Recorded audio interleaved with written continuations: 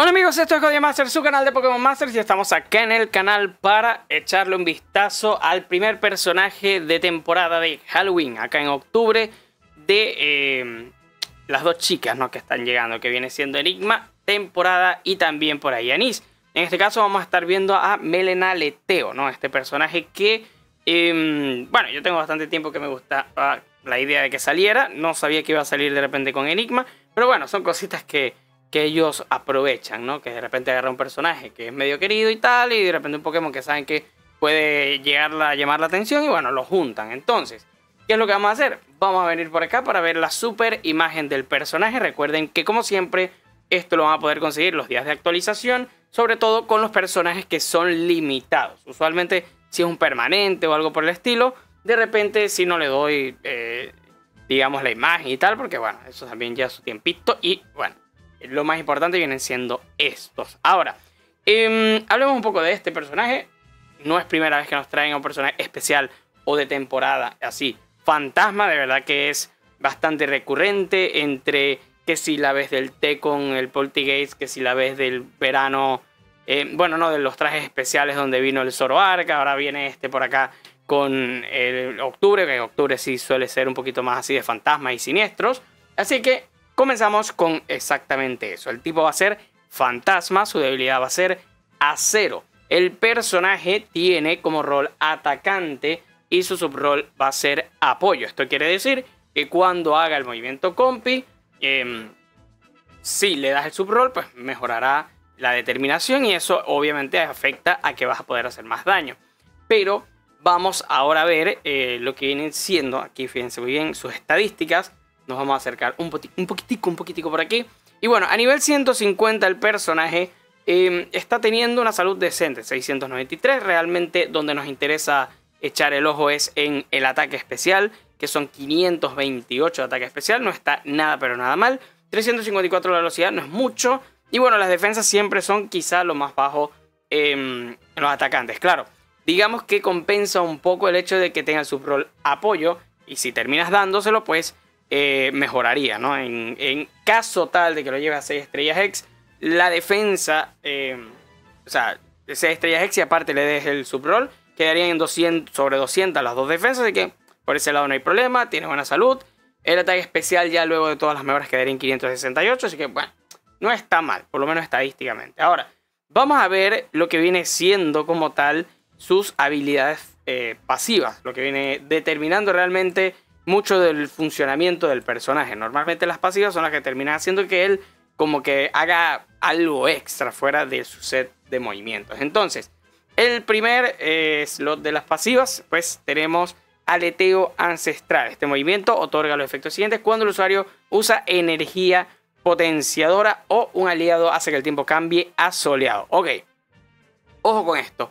Es importante eh, decirles de una vez que energía potenciadora es un movimiento que va a tener en su set. Entonces, este movimiento lo que hace es que potencia o coloca un siguiente especial y un siguiente especial físico y efectivamente cuando vuelvas a utilizar ese movimiento o te coloque un sol, pues también tomarás un, especial, un siguiente especial aumentado y aparte recuperarás el movimiento sincro. Muy importante tomar en cuenta eso para cuando veamos el set de movimientos.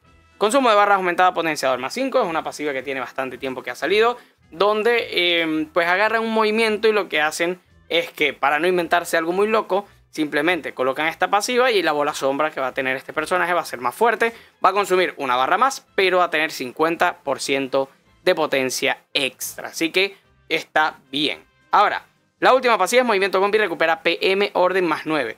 Básicamente lo que hace es recuperar un punto de movimiento del entrenador del usuario tras usar el movimiento combi. Así que ojazo por ese lado. Ahora, eh, Estamos viendo por ahí que Fantasma es de Paldea, líder de gimnasio, este, traje de temporada. Eh, esas cositas importan, pero no tanto, ¿no? Eso le da un poquito de estadística, sí, dependiendo con quién lo vayas a mezclar. Ahora, si nos vamos por este lado para que vean el set de movimientos como tal, fíjense que tenemos un personaje que eh, tiene, como les dije, bola sombra, pero esta bola sombra no tiene la base normal, que es 99, creo que si no me equivoco, 98 o algo así, pues tiene 148, el movimiento pues eh, va a pegar más fuerte, pero va a consumir más. Este tiene posibilidad de bajar defensa especial. Energía potenciadora es la pasiva que les estaba comentando, o digamos el movimiento que les estaba comentando que aumenta el siguiente físico y siguiente especial aumentado del usuario. Luego tenemos el movimiento sincro que dice bola sombra espeluznadora. Este movimiento también 4 barras. Pero hay una diferencia. Este movimiento pega en área.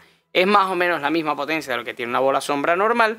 Pero esta básicamente va a funcionar cuando se utilice algún movimiento una vez. Es decir, ya saben que vamos a tener que estar jugando un poco con eso. Em, luego, obviamente, se va. Vamos a tener que aplicar la pasiva para recuperar el movimiento sincro. Como les estaba comentando, recuerden que cuando utilicemos em, el movimiento eh, de energía potenciadora o nos coloquen el sol, nosotros vamos a recuperar el movimiento sincro. Así que ese movimiento sincro lo vamos a poder utilizar varias veces por combate. El efecto como tal del movimiento es que acierta siempre. Aparte reduce la defensa especial del objetivo en dos niveles. Ojo, porque reduce la resiliencia fantasma del objetivo. Cosa que obviamente está excelente. Em, lo podemos hacer en área. Eso le da una ventaja. O lo pone bastante bien porque está potenciándose en base eh, a un movimiento que él puede utilizar. Así que está muy bien. La potencia del movimiento se reduce, eh, no se reduce, perdón, incluso si hay varios objetivos. Está excelente. De verdad que por este lado el movimiento es muy bueno, pero claro, hay que tomar en cuenta un detalle. Es, el movimiento como tal está excelente. El problema es que tiene el uso, lo, eh, lo terminas eh, gastando, por así decirlo, y vas a tener que recuperarlo con el, movimiento de esa energía potenciadora o te tienes que colocar el sol y tal. Entonces, de verdad que por ese lado, pues, eh, no va a ser un movimiento que vas a poder utilizar turno tras turno, porque si fuera así, obviamente ya el personaje estaría bastantísimo mejor, ¿no? Ahora, el movimiento de entrenador nos dice, estamos en vivo. Movimiento que vas a poder utilizar una vez, puede subirse 4 el ataque especial, 3 la probabilidad de crítico y aplica el efecto siguiente, super eficaz aumentado del usuario. Es decir, tú te puedes buildear un buen daño haciendo este movimiento. El primer movimiento con quizás em, lo puedes aplicar sin ningún problema así.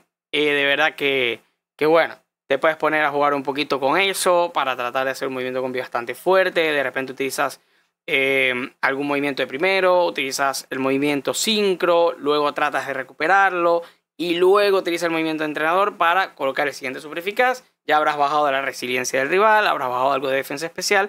Y bueno, exacto, ya son cuestiones de estrategia y de ponerte a practicar con él. Pero claro, para eso hace falta tenerlo, ¿no? Ok, movimiento compi. Rayo Fantasma de tremendo misterio. Este movimiento, como cualquier atacante, 250 de potencia base. Em, básicamente, si no lo llevas a 6 estrellas X, normal, no hace nada. Si lo llevas a 6 estrellas X, pega a todos los rivales, porque recuerden que es un atacante. Y si le das la función X de apoyo, lo que hace es que mejora la determinación en dos niveles. Y obviamente eso incrementa tu daño. Entonces, de verdad que bueno, el personaje sencillito, por lo menos eh, de inicio, ¿no? No se ve una locura, claro. Por lo menos tienes energía potenciadora dos veces, es decir, que esto lo vas a poder utilizar em, bastante bien porque tomen en cuenta que se activa cuando el usuario usa un movimiento alguna vez. Entonces esto significa que nosotros podemos trabajar un poco para que el personaje recupere los PM y podamos eh, aprovechar bastante bien la reducción de defensa que eh, de defensa especial digo que tiene el movimiento sincro. Así que bueno, por ahí se puede jugar un poco con eso. Ahora, tenemos que ver el tablero para ver qué más nos va a, aportar, porque está bastante bien el, personaje, pero así tal cual se va a quedar eh, flojo, ¿no? De verdad que un personaje a una sola repetición, por muy bueno que te pueda servir, que te pueda ser una élite o lo que sea, claro, hay que verle el tablerito para ver hasta dónde va a llegar. Y para eso vamos a pasar a echarle un vistazo en Poma Tools. Pero antes de eso les mostraré al patrocinador del canal, señores. Lo tienen por acá como siempre, es Eneva. Y fíjense muy bien que acá tienen esta sección que dice debes jugar esta temporada. Ya tienes una selección de juegos que están obviamente eh, trending, ahorita están top, la gente está activa jugándolo. No solamente ahora mismo, sino que son quizás este, de los titulazos ¿no? que hay acá en Eneva, así que vayan a echar un vistazo. Además de eso, no se olviden de que pueden conseguir el Minecraft a muy buen precio, no solamente hay juegos, está que si el Xbox Game Pass, tarjetas de Nintendo, que si tarjetas de Steam, eh, moneda de Valorant, Overwatch, Roblox, Roblox es la cosa. Eh, vayan a echar un vistazo, está bastante genial. No se olviden que el comentario destacado que tienen en eh, ahí abajo tiene un enlace y van ahí y estarían diciendo la nieva que viene de parte de Godi y eso ayudaría bastante al canal. Muchísimas gracias a las personas que están atentas a esto y que bueno han terminado haciendo alguna compra por ahí. Se les agradece un montón. Ahora, pasemos ahora sí a ver el tablerito de Melena Leteo, ¿no? Este personaje que, como les digo, a primera repetición no va a conseguir nada fuera de lo común. De verdad tiene una inmunidad de retroceso, estadísticas planas y potencia base, ¿no? Así de sencillo. Que si la bola sombra puede llegar, claro, obviamente si activas todo, em, tienes una bola sombra que llegaría hasta 164 potencia base y tal, pero hasta ahí, ¿no? Em, a dos repeticiones, em, digamos que está como un poquito mejor. Sin embargo, yo les voy a decir, a segunda repetición, de verdad, ok, mejoras la potencia de los movimientos, porque eso es normal, también el movimiento compi, pero estás teniendo como pasiva así medio remarcable, está bien, un ataque de confusión, que esto te puede ayudar en aventuras legendarias donde necesites colocar cambios de estado, o en combate en general donde necesites colocar cambios de estado. Tiene un sol curativo, esto para tener por acá eh, la sinergia con el sol que está teniendo ya de por sí, gracias a su pasiva esta de aleteo ancestral, velocidad solar, acción veloz para que puedas subir la velocidad de, tu personaje. También tienes para recuperar el movimiento entrenador, entrada robusta regenerativa te da curación gradual. Tienes que ser el primer movimiento combi siguiente super eficaz. Ese está bastante bueno porque puedes jugar con tener dos siguientes super eficaz solos. O sea, con el personaje tal cual está, solito. Em, ahora nos vamos a ver la tercera repetición, que obviamente es donde está el jugo, por así decirlo.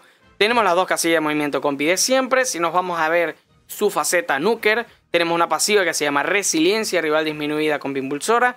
Básicamente aumenta la potencia del movimiento compi cuando se le ha bajado la resiliencia rival. Y recuerden que eso lo vamos a hacer la primera vez que utilicemos el movimiento bola sombra espeluznadora, que es el movimiento sincro. Así que por ahí tendríamos un combi impulsor de hasta 90%, eh, bastante bueno. Ahora, otras cosas que están bastante bien, energía potenciadora, movimiento siguiente especial aumentado, básicamente el efecto que tiene energía potenciadora, que es el movimiento este de acá, pues em, sube, sube el ataque, el siguiente especial aumentado, también sube el siguiente físico, pues no tienes movimiento físico, así que bueno, no les prestas atención, pero subirías el contador este más otro contador acá. Cuando haces el movimiento compi puedes colocar más contadores, entonces fíjense que el compi al tener subrol de apoyo está siendo bastante enfocado en que esas potenciaciones estén siendo dadas es a sus movimientos. Es decir, a la bola sombra espeluznadora y en la bola sombra normal. Por eso les están dando varios contadores especiales a los movimientos. Ahora, primero, em, tienes que si el primer... Bueno, este yo creo que estaba así. El primer movimiento compi siguiente super eficaz. Si lo tiene, energía potenciadora, movimiento siguiente sin coste. Bueno, se puede aprovechar. Sol impulsor, aquí está. Tienes un impulsor, defensa especial disminuida potenciadora. Em, ya son impulsores de movimientos. Es decir, la bola sombra y bola sombra 5, por así decirlo.